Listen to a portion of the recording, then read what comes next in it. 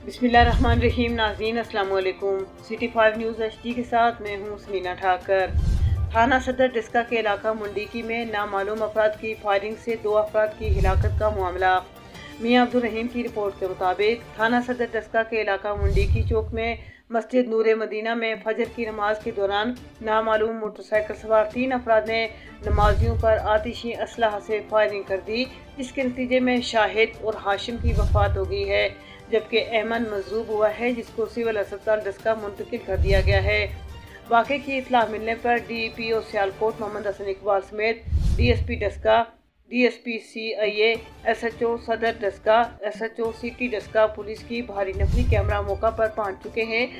नामालूम मुलजमान की तलाश और गिरफ्तारी के लिए नाकाबंदी कर दी गई है। Mian Abdul Rahim, district city five, news, Sialkot.